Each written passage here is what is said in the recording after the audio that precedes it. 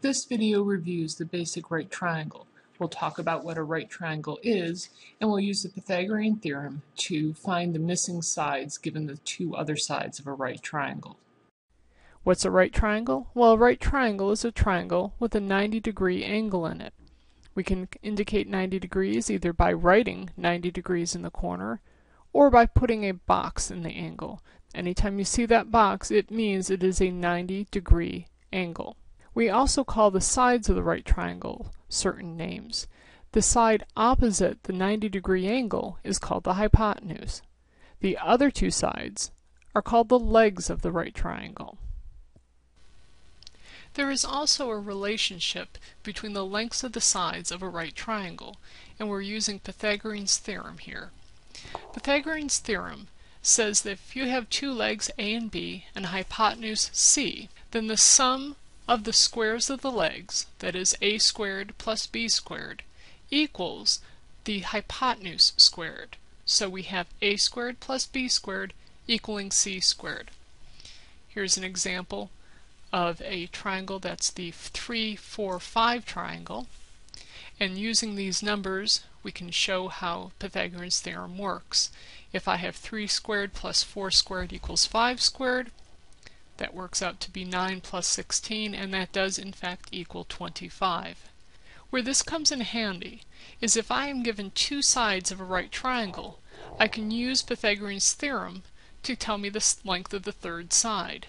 For instance, if I have a triangle, a right triangle, with legs length 1 and 2, and I use Pythagorean's theorem, then I find that the length of that hypotenuse squared will be equal to 1 squared plus 2 squared. And this works out to be the square of the hypotenuse is going to be equal to 5. Now if I use the square root property to solve this, I take the square root of both sides, and I would come up with the length of the hypotenuse being square root of 5. Well, to be totally accurate, using the square root property, I would also get negative square root of 5 as an answer, but because we're dealing with measurement, because we're talking about length, we're only going to be using the positive square root. Remember, square root of 5 is an irrational number. There are times in the course where you'll be asked for answers that are exact and answers that are approximate. For a number like square root of 5, if the exact answer is asked for, then you must write down square root of 5. However, if the problem asks instead for you to give an approximation, then you can use your calculator.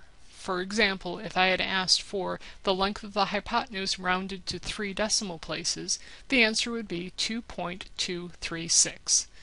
The exact answer is square root of 5, the approximate answer is 2.236. The Pythagorean theorem works even if it's one of the legs that we're trying to solve for and not the hypotenuse. We will still use a squared plus b squared is c squared.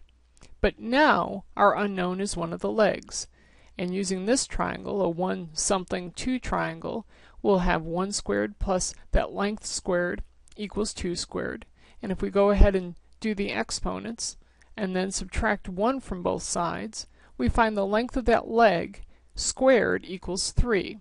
Or, that length of that leg is the square root of 3. It's an exact answer, but if we wanted to approximate and round to the nearest three decimal places, and we would get an approximate answer of 1.732. And that was a review of a basic right triangle. We talked about what a right triangle is, and we used the Pythagorean theorem to solve for a missing side of a right triangle.